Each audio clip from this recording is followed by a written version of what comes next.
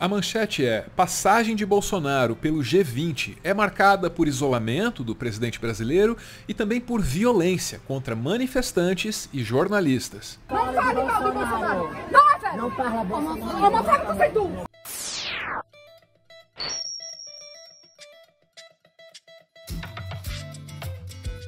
Seria muito difícil de superestimar a importância do G20. Olha só para os números. Soma aí os países membros e o que você tem é 90% do produto nacional bruto mundial, 80% do comércio e cerca de 65% da população desse planeta. Quando os representantes desses países se reúnem, olha, essa é uma excelente oportunidade para marcar reuniões bilaterais, para selar acordos, para defender os interesses do país que cada líder está lá representando. Mas é só uma ideia, né? Porque você também poderia usar essa oportunidade para comer pizza com seu filho num boteco. E é aqui que a gente começa a falar sobre a participação do Jair Bolsonaro no G20 no ano de 2021. De novo, o G20 é um negócio muito sério, muito importante, mas em 2021 é até mais, porque o mundo já vislumbra a possibilidade de superar a crise provocada pela pandemia. Então, essa é uma chance, assim, de buscar uma saída coordenada entre as nações e, claro, também para falar sobre mudanças climáticas, porque elas estão aí, é inevitável. Em grande parte, o foco prometido por essa manchete aí da CNN foi mantido. Só que o Bolsonaro ele não tem muito a ver com isso, não. O foco da participação do presidente brasileiro, esse foco ficou oscilando aí entre o isolamento dele e os conflitos com a imprensa. O isolamento fica sintetizado, fica resumido, fica simbolizado por essa foto aqui, ó. Todos os líderes diante da Fontana de Treve, ponto histórico e turístico de Roma. Pode procurar aí, você não vai achar Bolsonaro nenhum. Mas olha, tudo começa mesmo é com esse outro registro da reunião feito pelo Jamil Chad. Aqui a gente vê o Bolsonaro interagindo com uma outra figura da extrema direita, o Erdogan, da Turquia. Figura, aliás, muito comparada com o nosso Bolsonaro. Estamos resistindo bem. Withstanding pretty well. We're resisting. Não é fácil ser chefe de Estado em qualquer lugar do mundo. não é It is fácil. not an easy task to be a head of state anywhere in the world. And you have a lot of oil resources. E o Brasil tem muitos recursos petrolíferos. Tem, tem. Indeed. Petrobras. Mas é um problema. Petrobras is a problem. Mas nós estamos é, quebrando monopólios, uma reação muito grande. We're breaking away with the monopoly, oil monopoly. Até há pouco tempo ela era uma empresa de um partido político. Up until recently, Petrobras was a company run by a political party. We changed that. Estamos When is the elections? Quando serão as eleições, presidente? daqui 11 meses. 11 months from now, next year.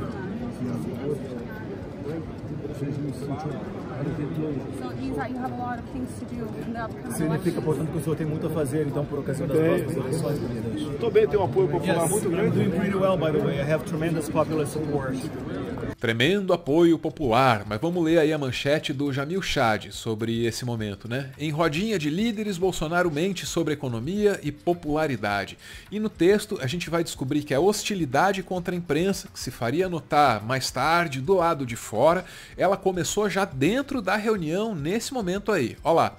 Ao final do rápido encontro entre os dois líderes, pessoas que acompanhavam o presidente chamaram a organização do G20 para se queixar da presença do UOL no local. A reportagem, após a queixa dos brasileiros, foi retirada da presença dos líderes. Por mais duas vezes, o UOL tentou se aproximar de outras conversas mantidas por Bolsonaro com outros chefes de Estado, mas foi impedido. Na última, a reportagem foi alertada que poderia ter problemas.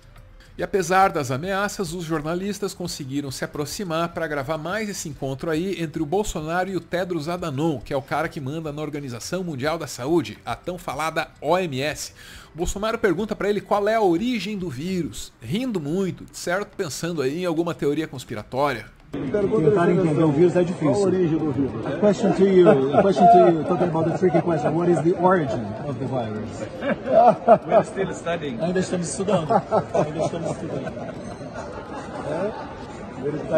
Estamos estudando. Sounds good, that's a good We answer. need to know. It's very important. Precisamos lançar sobre isso, é muito importante. And by the way, I, I, I didn't tell you, I, am, uh, I got an award from a previous uh, president. Recebi um prêmio do presidente anterior, o prêmio Oswaldo Cruz, eu tenho uma condecoração from President Cameron, right? Essa interação com o diretor da OMS tinha tudo para ser a principal manchete sobre a passagem do Jair Bolsonaro pelo G20. Só que não, né? A confusão do lado de fora foi o que roubou a cena. A gente já vai falar dessa violência toda, mas só depois de falar de uma agressão involuntária. Olha lá, só podia ser você, brinca Merkel, após Bolsonaro pisar no pé dela. É Igor Gadelha, é no Metrópolis e vamos pro texto.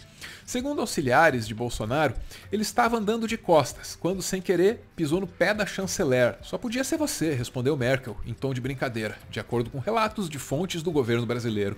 No jantar, como a coluna noticiou mais cedo, Bolsonaro se sentou ao lado da alemã, que deixará o cargo em breve, após 16 anos no poder. Eles também teriam conversado sobre a derrota por 7 a 1 do Brasil para a Alemanha na Copa de 2014. Enfim, só uma curiosidade, né? Porque o assunto sério mesmo é a agressão à imprensa, né? E do lado de dentro da reunião deve ter rolado assim algum pudor na hora de lidar com os jornalistas. O máximo que a gente viu acontecer ali foi um cuidado, vocês vão ter problemas. Do lado de fora a coisa foi diferente, né? A turba, sempre estimulada pelo líder, pelo mito, foi para cima mesmo. Ei! Ei! Ei! Ei, tá louco? Tá louco? Jornalista, jornalista, cadê eles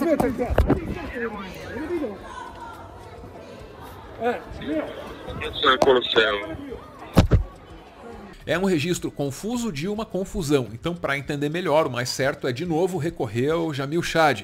Jornalistas são agredidos por seguranças de Bolsonaro em Roma e vamos pro texto para descobrir que teve gente apanhando.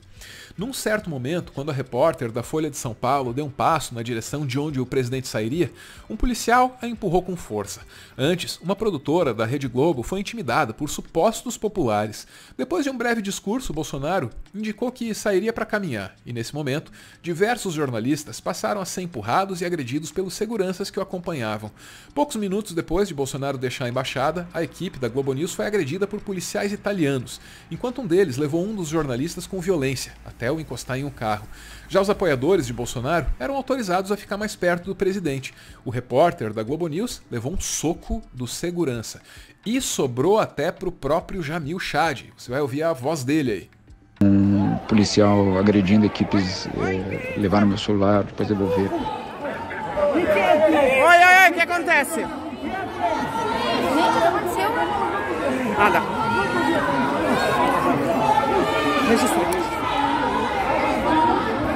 A verdade mesmo é que o próprio Bolsonaro tem responsabilidade por essas coisas, hein? O que os apoiadores fazem é pouco mais do que imitar e potencializar o comportamento dos líderes que eles seguem. No caso, o Bolsonaro.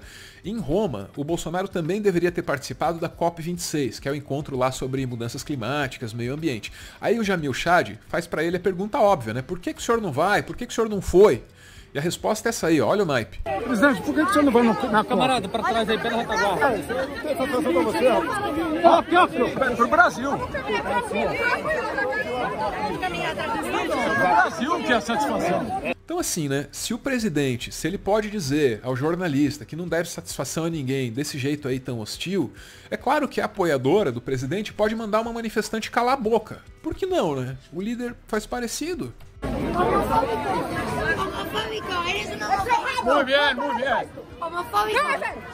Senta, senta. Tu não sai dentro, tu não sai brasileiro. Não fale mal do Bolsonaro. Não é sério. Não fala Bolsonaro. Homofóbico sei tu. Tu você é homofóbico. Não mal do Bolsonaro. Se o Bolsonaro tiver muito incomodado com a obrigação de participar do G20, resta a ele um consolo. É que o Brasil já foi a sexta maior economia do mundo. Hoje é a décima segunda, com grandes chances de cair para o décimo quarto lugar. Então assim, com um pouquinho mais de tempo, esforço, talvez a gestão do Bolsonaro consiga fazer o Brasil perder aí seu lugar entre as 20 maiores economias do mundo. Aí não precisa mais participar do G20. O que pode ser bom, né? Um trabalho a menos.